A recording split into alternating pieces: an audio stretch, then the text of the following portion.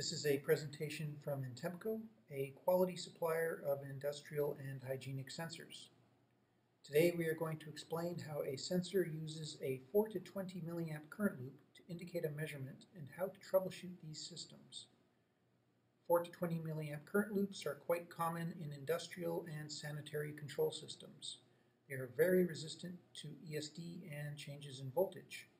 Hopefully this demonstration will show you why. For the purpose of this demonstration, we will be using an Intempco float level sensor. This sensor changes resistance with a change in float position.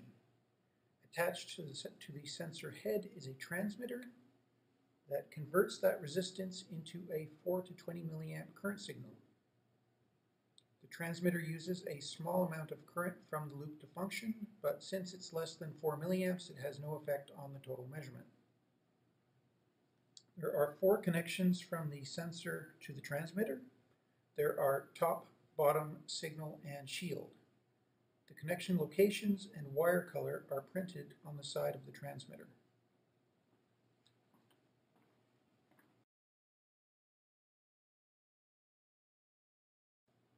The transmitter is hooked up to a variable power supply with an ammeter in series with the circuit. We connect the positive of the supply to the positive input of the transmitter. That's into the loop positive input of the transmitter. We connect the output of the transmitter, the loop negative, to the input of the ammeter. We connect the negative of the ammeter to the negative of the supply in order to complete the circuit.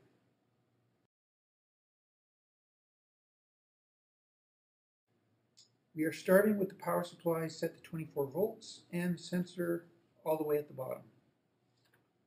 As you can see, the current indicated is 4 milliamps. This indicates the float is at the bottom of the sensor span. If we move the float to the top position, you can see that the current changes to 20 milliamps.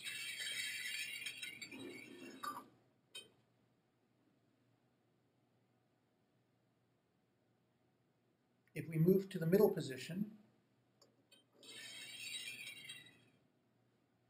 you can see that the current indicates approximately 12 milliamps, which is halfway between 4 and 20 milliamps. We will keep the float at that position, and now I will change the voltage level on the power supply to 15 volts. Now notice while I change the voltage that the current does not change.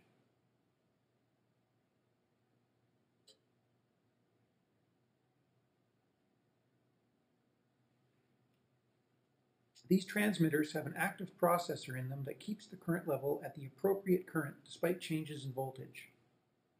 I'll repeat this because it's important. The processor uses some current from the current loop in order to function. This current is below the 4 milliamp level, so it does not interfere with the measurement signal. We will now break the loop and insert a 250 ohm resistor in series.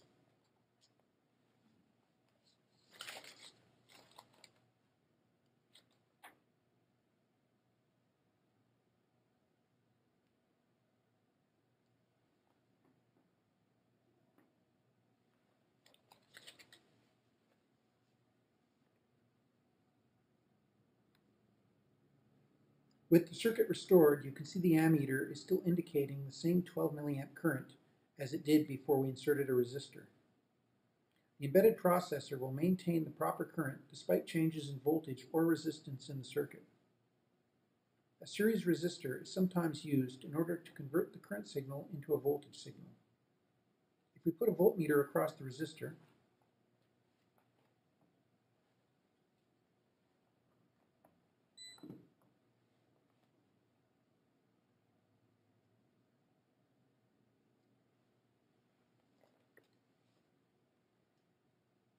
we can see that at the mid position it will show a voltage drop of 3 volts. We can calculate this by using the equation voltage is equal to current times resistance.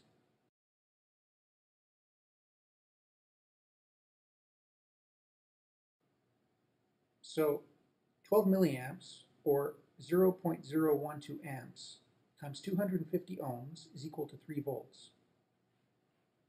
If we change the position of the float to the top, it will indicate 20 milliamps. You can see the voltage drop changes to 5 volts. So 20 milliamps, or 0.02 amps, times 250 ohms is equal to 5 volts.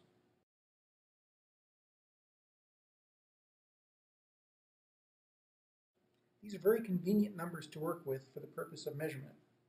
For the full span, we get a range of 1 to 5 volts from bottom to top. Now we will talk about failure modes for this type of transmitter. There are limits to how big a resistor you can use in a circuit like this. The embedded processor in the transmitter needs a certain amount of voltage overhead and current to function.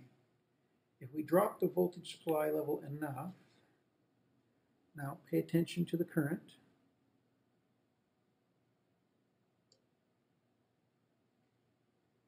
Eventually the processor will lose its ability to function and you'll get improper readings. For our transmitters, the maximum loop resistance can be calculated with the equation voltage supply minus 9 volts, all divided by 20 milliamps. At our current supply voltage of 15 volts, that gives us a maximum resistance of 300 ohms. Since we are using a 250 ohm resistor, that is within spec at this point.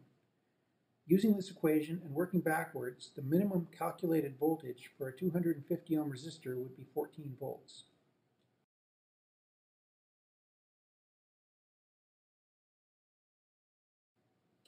I will now put the supply back to 15 volts.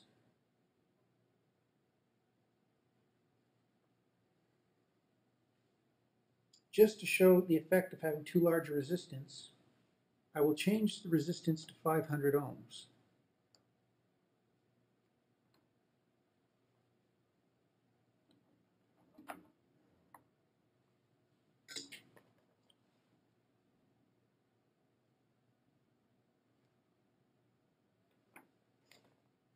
You can see the transmitter is not able to function properly. In order for the transmitter to function with this resistance, I would have to raise the voltage level.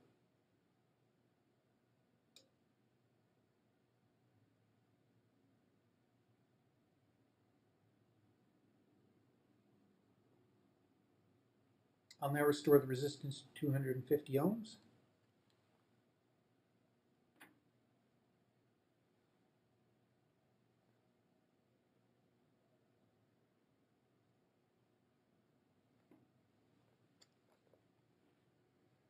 Another possible failure scenario you may encounter is a bad sensor or sensor connection.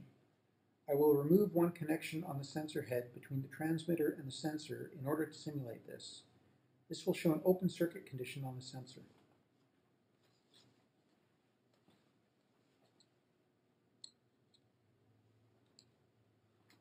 As you can see, the signal fails low. Which direction it fails in depends on which wire becomes disconnected. It can fail either, either low or high. So these are the basics for a typical 4 to 20 milliamp sensor current loop. These same basics can be used for pressure, temperature, humidity, or any other 4 to 20 milliamp transmitter.